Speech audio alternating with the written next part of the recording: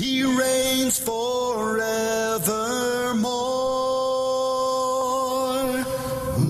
Good morning and welcome to Abundant Living, a casual look into the Word of God with the preaching ministry of Dr. Gary Bradley, minister of the Mayfair Church of Christ, located in Jones Valley in Huntsville. The Mayfair Church is a loving, Christ centered church with a vision and a dream of sharing Jesus with the Tennessee Valley and the entire world. Every Sunday, Gary touches people's lives with the good news. And now he wants to share it with you one on one. So join us for the next few minutes as together we find the solutions to life's problems. Are you searching for those answers this morning? We believe the answers are there in God's Word and that each of us can have the abundant life God wants to give us. He reigns forevermore. Host, Dr. Gary Bradley. Good morning and welcome to Abundant Living. Thank you for joining us on this first Sunday in June. Boy, 2018 is just flying by. And we are certainly grateful for your watching the today. We appreciate so much the comments made about the program, the cards, the letters, the uh, contributions that are still coming in for Bibles for Cuba. We're getting those Bibles distributed as quickly as we can. Uh, we do appreciate so much the fact that we are beginning our 39th year on Abundant Living. Um, I talked to a lady uh, well, I was with the Farley Church of Christ last Sunday, and I enjoyed worshiping with them. And uh, one of the ladies commented that she'd been watching me from the beginning. I said, That was back when I had black hair. She said, Well, it was already turning gray. So she reminded me that it did turn early. So, but it's great to be with you.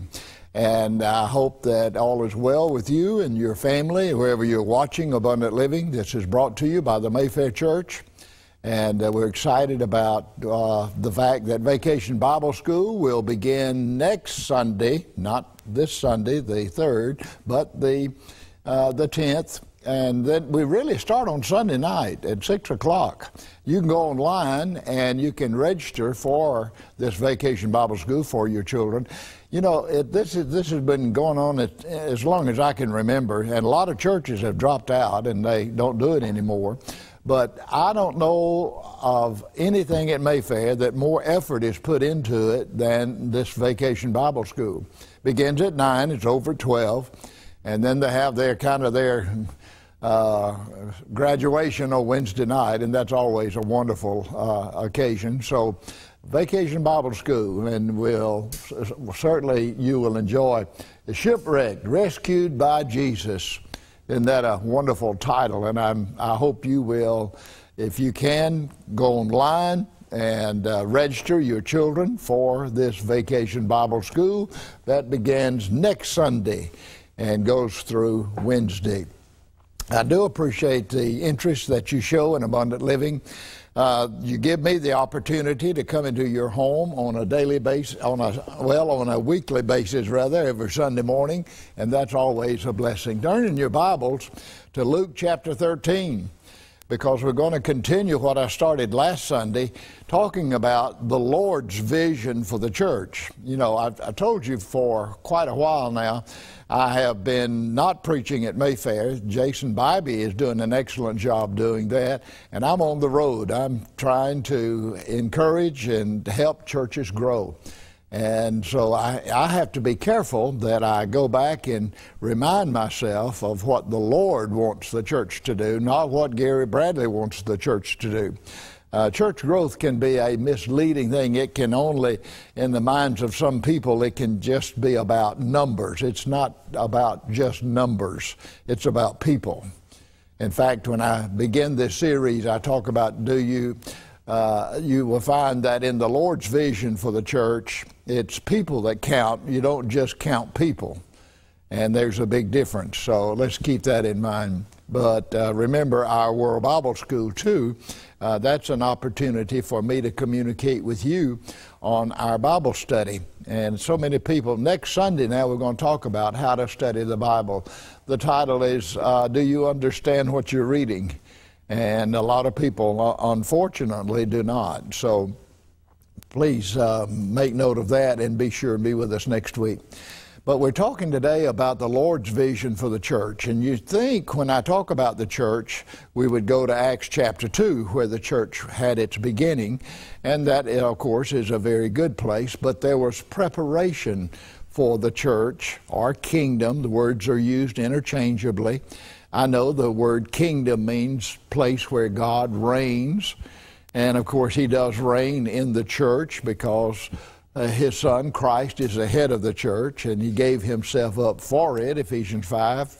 So when we think about Christ's vision for the church, uh, sometimes the word church kind of leaves a, a, a turnoff for a lot of people because they went, maybe they were not welcome, maybe they were offended in some way, maybe they felt like the people acted like they were a little better than anybody else, which is far from the truth. So we have to kind of clarify. That's what I like about abundant living. I can come on the air with you and we can sit with our Bible between us and we can talk about what the Bible says, not what Gary says, not what you say.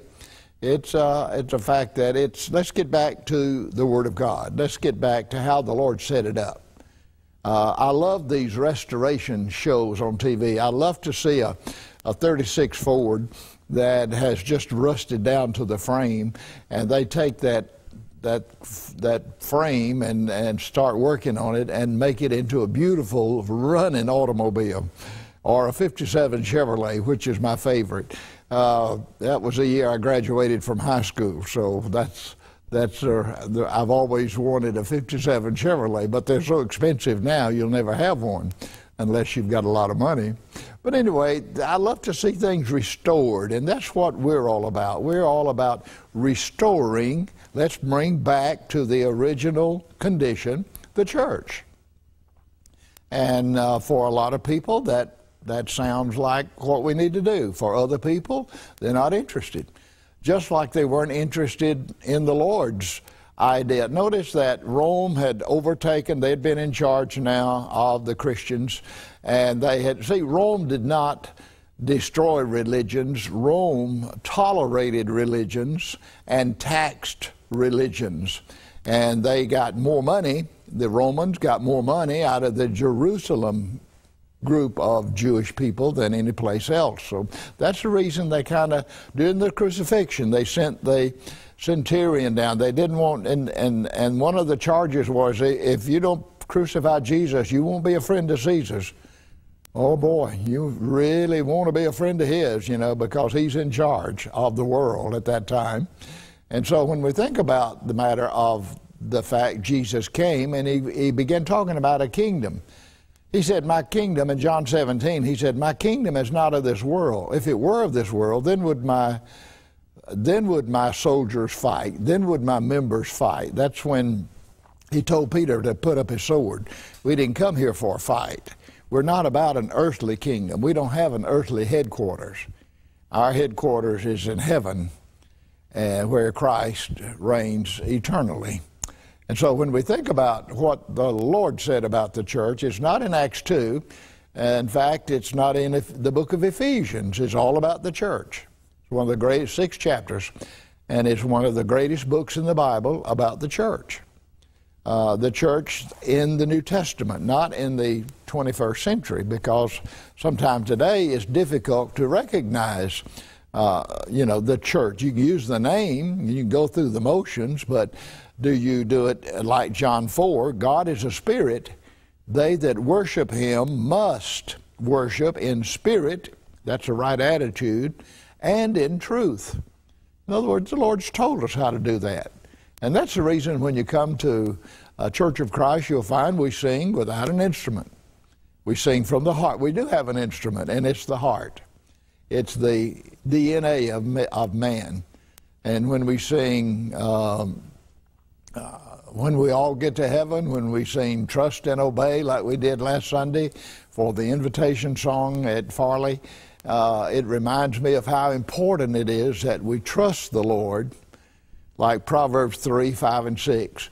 Trust the Lord with all of your heart. Lean not upon your own understanding. In all of your ways, acknowledge Him, and He will abundantly pardon. So when we trust the Lord and we obey Him, then that's what life is really all about. Paul says, For me to live is Christ. For me to live. For some people to live, it's fun, entertainment, work, family. And that's some, these are good, these have their places, but it shouldn't be my main purpose in life. Because my main purpose in life, according to Ephesians 3:20, is to glorify the Lord in the church when he closed out that beautiful first three chapters of the book of Ephesians. So we're talking about the Lord and his church. And the odd place to go, excuse me, is the book of Luke, chapter 13, when he starts telling stories. He says, The kingdom of heaven, the kingdom of heaven, that's the church on earth that will be someday completely uh, gathering, gather, gathering together in heaven. When he said upon he said in Matthew 16, 18, upon this rock I'll build my church.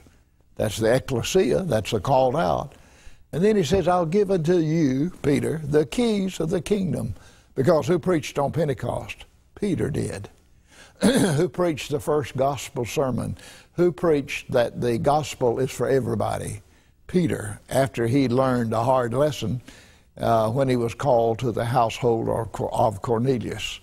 So it's, it's very interesting that we look in Matthew, Mark, Luke, and John, which is four stories about Jesus. Now, Luke is a Gentile.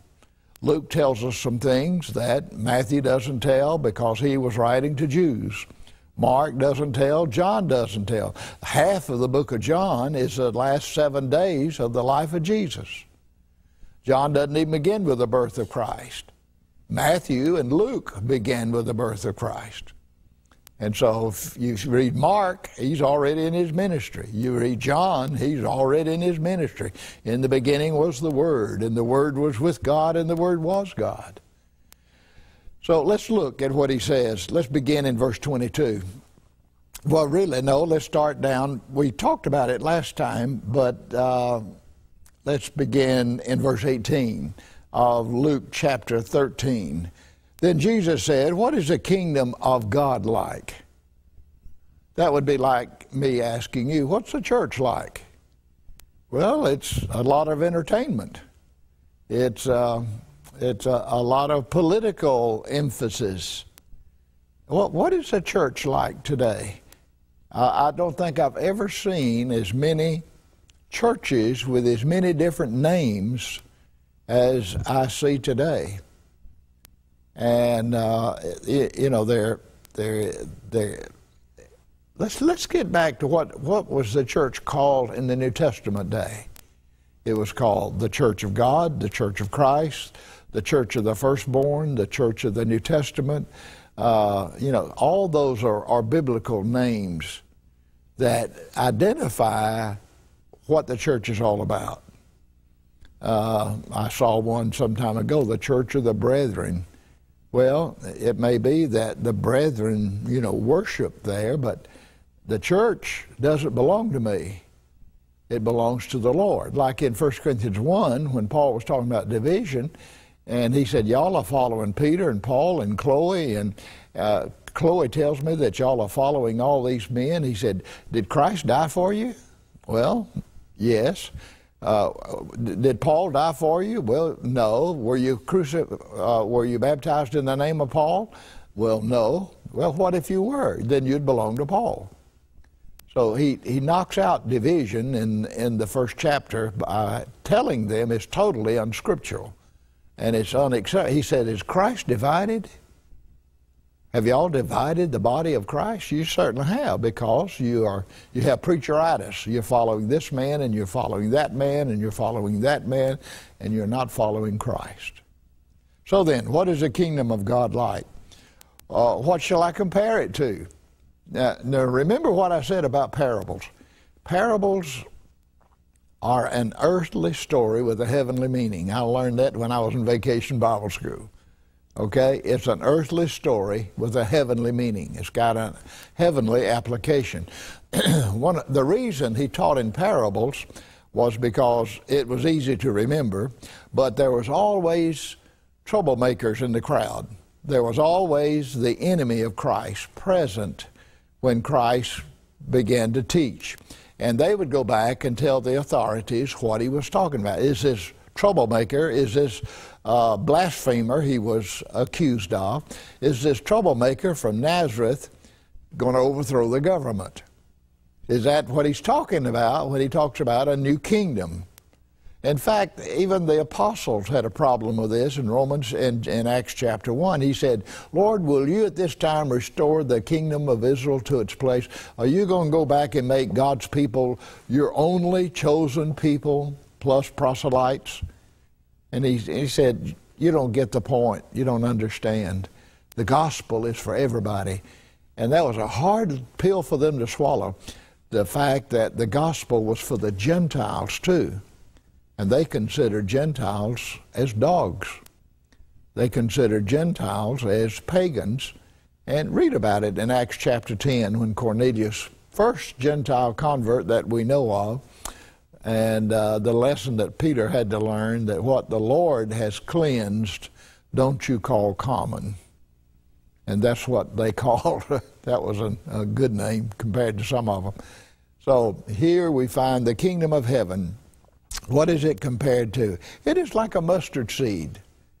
Now, last time we talked about it, you know, mustard seed is that little bitty seed on the end of your finger. If you were to drop it, you'd have a hard time finding it. But he said it's like a mustard seed which a man took and planted in his garden. Now, they had done that. Some of them there probably had mustard seed plants or trees. Now, it grew. I want the kingdom of God to grow it grew and became a tree. A little bitty seed. We see that in oak trees and other kinds of trees that the seed falls wherever it is. I cut up some I've dug up in the past some some bushes and, and shrubbery that I didn't want and I didn't get it all and first thing you know next year here it comes up out of the ground again. So then he has the mustard seed sown, it grew, became a tree, and the birds of all, uh, the birds of the air perched in its branches. And again he said, What shall I compare the kingdom of God to? In other words, that's one lesson. Number two, it's like yeast. A woman took and mixed into a large amount of flour until it worked all through its dough. So he said, I want the kingdom of God to grow. I want it to grow. I want it to start growing. And I'm comparing it to something you can take home with you. I didn't finish that last point a while ago about the enemy of God. And so when, when Jesus talked about, oh, the kingdom of heaven is like a mustard seed. Oh, well, he, he they go back to their authorities and they say, oh, this this teacher is just talking, uh, this rabbi is just talking about seeds and, and mustard seeds and yeast and things. He's not talking about getting an army together and overthrowing the, the uh, Roman government. So don't worry about it. But what point is Jesus making? Why did he go to this trouble to say the kingdom of heaven is like a mustard seed? It's like something that's planted and it grows into a a beautiful, beautiful branch and of trees, and uh, trees with branches and birds rest in its branches. Or it's like a woman that takes yeast. You remember last time I told you about uh, me trying to make uh, grits and and I had the water and I poured in all the box of grits and grits was just going everywhere. Well, that's that's kind of what uh, yeast does. Doesn't take but just a little bit, but then it infiltrates, it saturates itself with the entire dough. The kingdom of heaven started with one person, and it was a baby lying in a manger. When he was 12 years old, he said, uh, Know ye not that I should be about my father's business? Well, what, what was that? Carpenter work? Was he talking about Joseph? No. He wasn't talking about Joseph. He did work, obviously, as a carpenter with Joseph. Joseph must have died very early in the life of Jesus because he's not spoken of anywhere else after this uh, occasion in Luke chapter 12, uh, in uh, the book of Luke chapter 2 when he was 12 years old. And so he said, My kingdom is not of this world, as I said earlier as he told his apostles, we're not here to fight. Peter, put up your sword. That's not the king. I want the gospel. I want the saving gospel of Christ, the death, the burial, and the resurrection. Read the, read the Beatitudes. Uh, read the Sermon on the Mount if you want to get ready to be a Christian. If you want to know what a Christian is and how a Christian is to live and how a Christian is to behave, read the Beatitudes. Blessed are the poor in spirit. Blessed are they that mourn, for they shall be comforted. Blessed are they that, here it is, hunger and thirst after righteousness. You just got an appetite for things that are good. You just, you just want to do what's right. And that, that's a wonderful quality because the Bible says that Jesus went about doing good. He went about doing as a father would instruct. And so he said, the kingdom of heaven is to grow. And then a very interesting question comes up. Then Jesus went through the towns and villages teaching. As he went on his way to Jerusalem, someone asked him, Lord, that means master, uh, Lord, are only a few people going to be saved? Wow, boy, that's a delicate question when you talk about people being saved and being lost. I'm glad that's not my job. I'm glad the Lord answered that a long time ago uh, when He said in Matthew 7 21, Not everyone that saith unto me, Lord, Lord, shall enter the kingdom of heaven, but he that doeth the will of my Father. Now, that's what we ought to be about. And uh, we should try to do all of the will of God. Like in Acts chapter 10, when uh, Peter got to the household of Cornelius, uh, I love this passage. I think I preached on it a few weeks ago out at uh, Owens Crossroads uh, when it says, We're all here together. Isn't that wonderful? Can, you get, can we get the church together? that's difficult to do, uh, especially with our mobile society that we live in. Uh, and he got, the, and we're all here together to hear what the Lord has commanded you to say. That's what church is about. It's not about who's there and who's not. It's not about uh, somewhere to go on Sunday morning. It's not a, a family reunion in the sense that the Lord, what my definition of worship is to be preoccupied with God. And the reason worship used to mean more to us than it does is because we used to get ready for worship, like on Saturday. Now, I don't mean we just read our Bibles and prayed all Saturday, but we, we just kind of look forward, like in Hebrews chapter 10, verse 25. Forsake not the assembling yourselves together as a manner of some is, but exhort one another insomuch the more as you see the day approaching. I think that's the Lord's day. And that's what we ought to do during the week. I'll see you Sunday. Remember that? I'll see you Sunday. So we used to get ready for Sunday. We used to get ready for worship. And so then he says, Are a few going to be saved? Well, where are the saved? Are they still in the world? Of course not. Why did he save them and leave them in the world? When he said, Love not the world, neither the things that are in the world, 1 John 2 15. So when the Lord saves you, what does he do? He adds you to the church. Which church? The one that is following his will. I talked to a man years ago in Chattanooga, Tennessee, and he had joined a particular religious group, and I asked him about the word, the preaching and the word. He said, no, said all they talk about is love, and I'm afraid they're going to love me right into torment. Now, love needs to be looked at as the scriptures look at. Jesus said, if you love me, you'll keep my commandments. It's not a Hollywood, chilly, uh, emotional uh, high. It's a verb, it's action. Paul says love in 1 Corinthians 13 is patient and kind and uh, forgiving.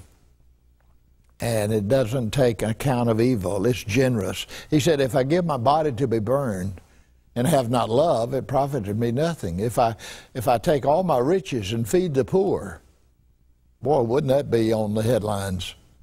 He said, But if I don't do it for love, it profits me nothing. And the interesting word, the Greek word for nothing there means zero. It means absolutely nothing. And so then he said, Who are going to be saved? Well, the Lord will determine that when he saves the people that obey him. Acts 2:47. And the Lord added to the church daily such as were being saved. Well, what had they done? Exactly what Peter told them to. When they cried out, Men and brethren, what shall we do? Peter said, Repent. Repent of what? Repent of everything you're doing that's wrong. In other words, like Marshall Keeble says, just quit it. Whatever you're doing that's wrong, stop it. And if you don't stop it, then you haven't repented. It doesn't mean you got caught. It means you've done wrong. And 1 John 3 4 says sin is a transgression of the law. It's stepping across the line. And we know when we step across the line if we've been taught the Word of God. And so he says here that who's going to be saved? I know. Matthew 7 21 tells me. In Luke 6 46, why call you me Lord, Lord, and do not the things that I say? I'd like to ask that all over town, all over the Tennessee Valley. You know, why do you why do you acknowledge the fact that there is a Lord and that we are made in his image and he did die on a rugged cross in Jerusalem? Why do you call me Lord, Lord, and you don't do what I say? The word Lord, Lord there means master, master. Can you imagine a slave saying, Master, Master, and then totally ignoring what he told him to do? And so then that is an interesting point. I want you to look at verse 28 before our time runs out this morning. He says, uh, uh, when he, he, says people will come from the east and the west and the north and the south and will take their place at the feast in the kingdom of God. That means that the vision the Lord has for the church is that everybody is welcome. What did he mean they will come from the north and the south and the east and the that means it doesn't matter who you are what color your skin, what color, what kind of background you have, rich or poor, great or small, it doesn't matter. The kingdom of God is for everybody. Somebody told me a long time ago when I began to preach that the ground is level at the cross, that anybody can be saved. And I'm so reminded of this when I go to Cuba and, I see people that have been under communism for over 50 something years, still under it, and yet the gospel is for them. The gospel is to make poor people rich. Make poor people rich. Some of the poorest people I know, like we go to the Baja, we go to Honduras, we go to these places that just hardly have enough to exist, but yet they can be rich in Christ because they can have their sins washed away in the blood of the Lamb because they were baptized into Christ and the Lord saved them. Well, our time is gone for this morning. Thank you for watching. Now, remember, next Sunday we're going to talk about why we don't understand the Bible alike. Why is one preacher saying one thing and another preacher saying something else? I hope you'll be with us. Until next week, may God bless you, is our prayer. Abundant Living, a ministry of the Mayfair Church of Christ, a place where children are loved, where families are strengthened, where teens learn to serve and grandparents are special. Mayfair, truly a family place for all ages. The Mayfair Church of Christ. We're saving a special place for you.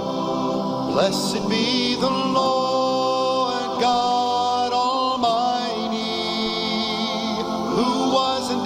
and is to come.